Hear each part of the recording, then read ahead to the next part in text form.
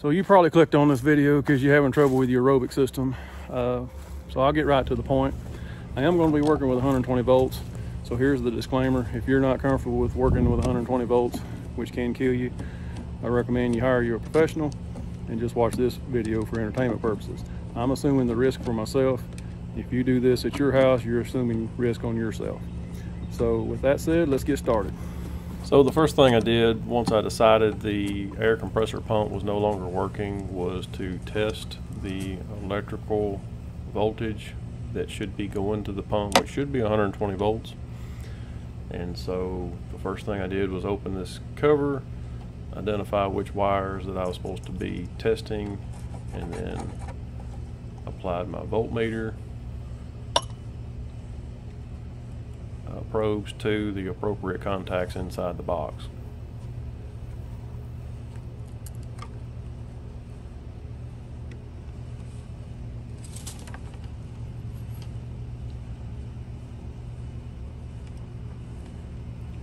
And I'm getting 121 volts on those two terminals, which is just fine. The uh, this this box has a like a little miniature breaker panel inside of it I don't know if that they all do, but uh, here I can show that I've identified the correct terminals by turning off the breaker to the compressor. And upon turning it back on, power is restored to those terminals. So I know that I'm looking at the right terminals that go to the air compressor pump. And so the next thing I want to do is kill all the power to that entire box outside. And I do that by going into the house and killing the breaker that supplies power to the entire uh, aerobic system outside. Uh, once I've got that turned off, I go back and I check these terminals once more, make sure that they're dead, even with the, uh, the little breaker there in the box itself turned on. And so now I know that the system is safe to operate on. And so now it is simply back these screws out, pull the uh, conductors out of the terminals. I'm using a Phillips screwdriver bit here. As you can see, I had some good contact there after the installers were done originally. This system's about seven years old, and this is the first time I've ever had any issue with it. Uh, looks like I had to have a flathead for the ground side because everybody knows that Phillips head screws will not work on the ground. We always have to use flatheads for some reason. Anyway, this system's been in place for about seven years, hadn't given me any trouble until now. And so I think I got probably more life expectancy out of the air compressor pump than, you know, as much as I'm expected to get. And so at this point, it's just uh, pull these wires out, clean this box out, which is, that's how they left it seven years ago. Uh, I can't stand to leave a mess behind me when I do a job like something like this. I don't know how other people get away with it, but they they did it. And so anyway, it's clean now.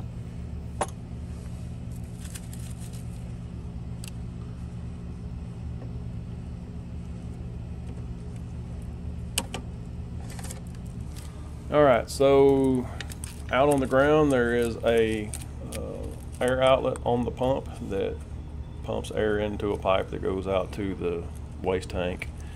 And so I just uh, release that little metal clip, pull the hose off, and the pump is completely separate from the system and from the house. I purchased this pump on the left new from Amazon for about $260 in uh, 2023 money. This is an exact replacement for the seven-year-old pump that is on the right. The model number on this one is HP uh, 600117. And uh,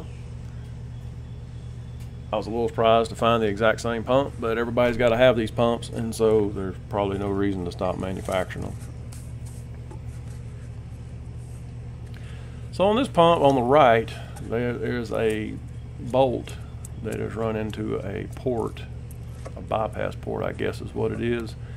The uh, new pump come with a brass fitting and I tested this pump before I brought it out And so if you put your finger over the main port on the uh, left-hand side there, then the bypass, all the air comes out that little hole uh, in that brass fitting. And that won't work for this application. And so I am going to remove the brass fitting. And in its place, I'm going to install the factory supplied uh, bolt and that it comes in that little package there. You can't hardly see the bolt, but it's very small but it threads in there just perfectly.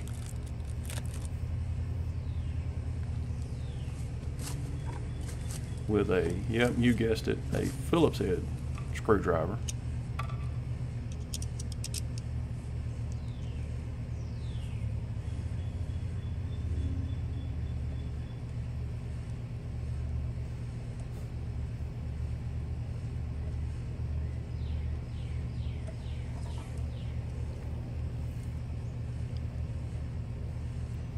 And since I'm going to have to cut the end of this cord off, cut the plug off, I am going to once again test the pump and make sure that, you know, before I alter it and kill the warranty that everything on it is working as it should. I guess this is what they're supposed to do and what they're supposed to look like. I, this is the first aerobic system I've ever worked on, the first one I've ever owned. I got no instructions from the installer when it was put in back in 2016 all I ever got from them was a yearly bill for them to come by and inspect it and tell me that it was working fine.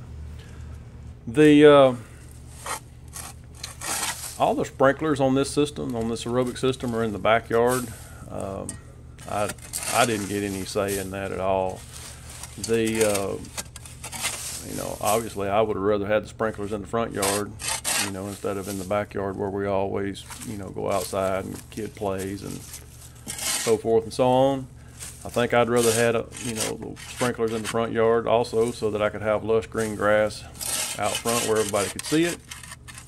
But I did not get any uh, consultation, any discussion with it. Uh, they put all of them in the backyard and they truly just seem to be more interested in getting it installed, putting the ground, and getting away before the homeowner come by to see what was going on. What they would do is leave me a uh, door hanger on the front door after they would do their inspection. And one of the last ones they left me was saying that the system looked like it was working fine, but they couldn't see uh, my sprinklers.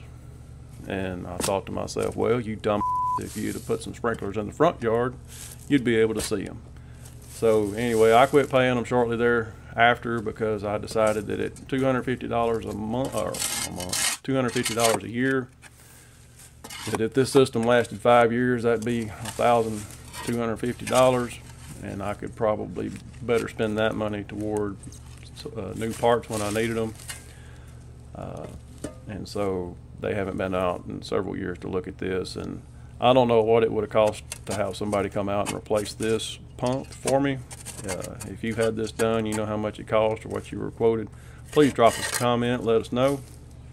But uh, this pump went in just fine. It cost $250 plus tax, and it showed up about three days later. So now that I've got the uh, pedestal there cleaned up, got the ant mound uh, swept away, it all goes back together the same way it come apart. Now I think this pad, this uh, that it's sitting on, has shifted a little bit over the last seven years. And uh, while I was cleaning, I found a piece of brick that got buried. And so I'm just going to use that to prop this pump up and relieve the strain on that uh, that rubber connector, whatever you want to call it, uh, so that it won't be kinked and then uh, setting the old pump down beside it kind of give me a good measurement on how long the cord needs to be? And I remember the the old pump the cord on the old pump was a little bit long. It had quite a bit coiled up inside the ant bed that was there laying beside the pump. And so I am going to insert the new cord through the bottom hole in this box. And also, I will cut a little bit more of this off so that I don't have quite so much for the ants to build around uh, once I go back in the house.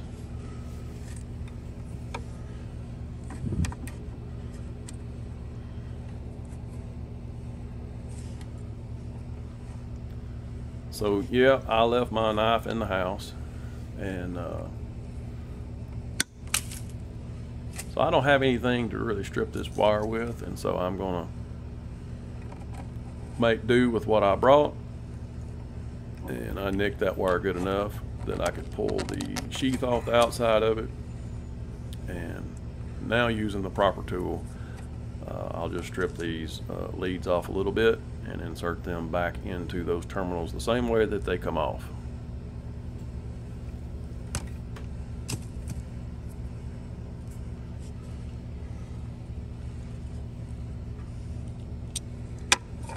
So we got to switch back to the flathead screwdriver tip because we're working on the ground.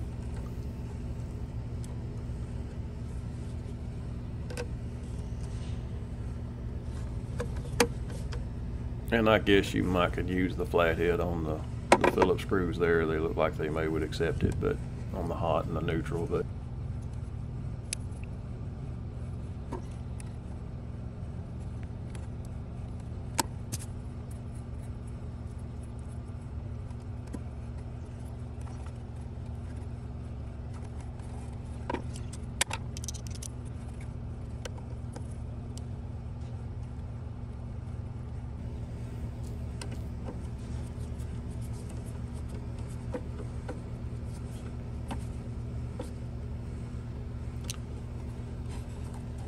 And likewise, I'm going to insert the black wire into the uh, compressor hot terminal.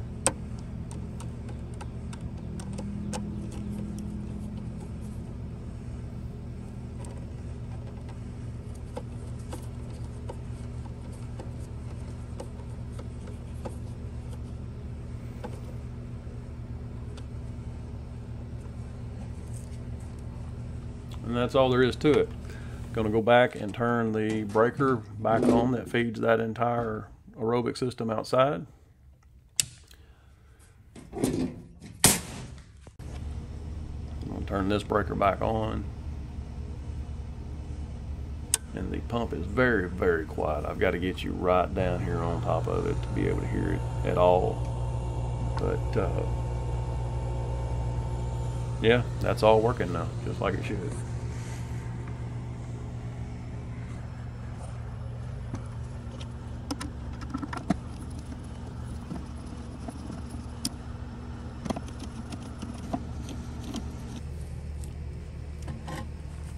I'd like to tell you that I know exactly what this is for. I don't know what this big concrete block is supposed to do. It doesn't keep ants out. It doesn't keep anything out. As best I can tell here in Texas, it shields that pump from the relentless sun that shines upon us 11 months out of the year.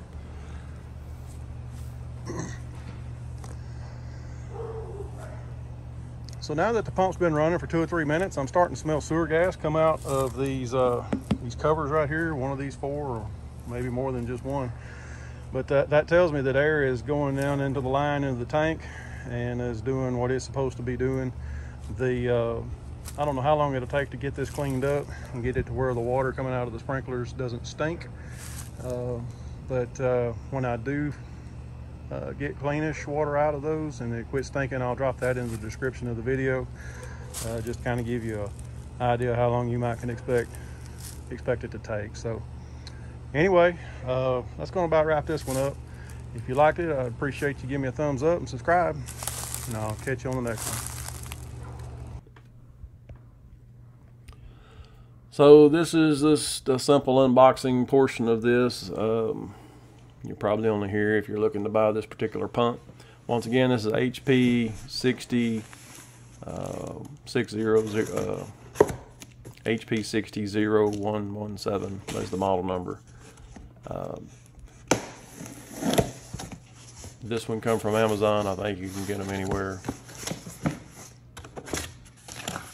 It was packed pretty well. It comes with an extra adapter hose and clamps if you need them. I reused what I already had, but I'm gonna hang on to those in case it, I need them in the future. The instructions were not very good, and that is about all that is in the box, along with the pump. So, I got no instructions from the installer on the original pump that said that I needed to replace or clean this air filter that's on top. Uh, there's a, a notice there. I'd never seen that until I realized the system wasn't working. So I guess if you're going to do proper maintenance, you need to uh, clean that filter that's underneath that enclosure there from time to time. But outside of that, I haven't had any issue with it.